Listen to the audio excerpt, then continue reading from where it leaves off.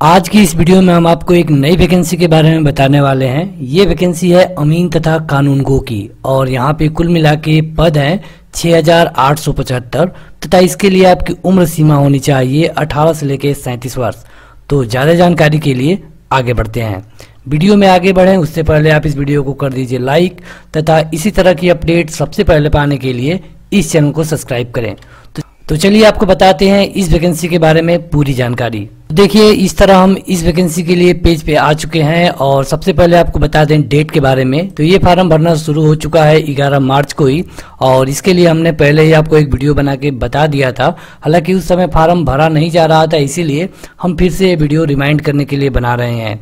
यहाँ पे आप इसका आवेदन कर पाएँगे एक अप्रैल तक मतलब कि फाइनल डेट है एक अप्रैल।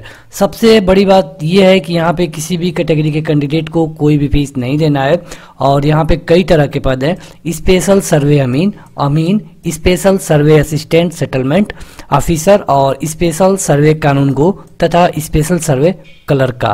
तो देखा जाए तो यहाँ पे कई तरह के पद हैं और कुल वैकेंसी है लगभग अड़सठ सौ। जिसमें से स्पेशल सर्वे अमीन को मिलता है उनचास सौ पचास पद, अमीन को मिलता है पाँच सौ पचास पद, जो special survey assistant settlement officer हैं 275 पद, और जो कानून गो है 550 पद, तथा जो क्लर्क है इसके लिए 550 पद हैं। ये वैकेंसी एक संविदा की भर्ती है। यहाँ पे आपको इसके एजुकेशनल क्वालिफिकेशन के बारे में बता दें। तो स्पेशल सर्वे अमीन के लिए आपको डिप्लोमा होना चाहिए सिविल में। और इसी तरह जो स्पेशल सर्वे क्लर्क है, इसके लिए आपको ग्रेजुएट होना चाहिए किसी भी यूनिवर्सिटी में और अमीन के लिए आपको आईटीआई होना चाहिए सर्वेयर में तथा special survey assistant settlement officer के लिए आपको बैचलर डिग्री होनी चाहिए सिविल इंजीनियरिंग में। तो ये हो गया इसके एजुकेशनल क्वालिफिकेशन के बारे में पूरी जानकारी। यहाँ पे देखिए, नीचे जाने पे मिलता है आपको इम्पोर्टेंट लिंक यहाँ पे अगर आप इसका आवेदन करना चाहते हैं तो अप्लाई ऑनलाइन के सामने। दिए गए क्लिक हियर पे क्लिक करना होगा। नोटिफिकेशन पढ़ना चाहते हैं तो आपको नीचे दिए गए लिंक पे क्लिक करना होगा। जो ही आप वहाँ पे क्लिक करेंगे, इसका नोटिफिकेशन आपके स्क्रीन पर आ जाता है।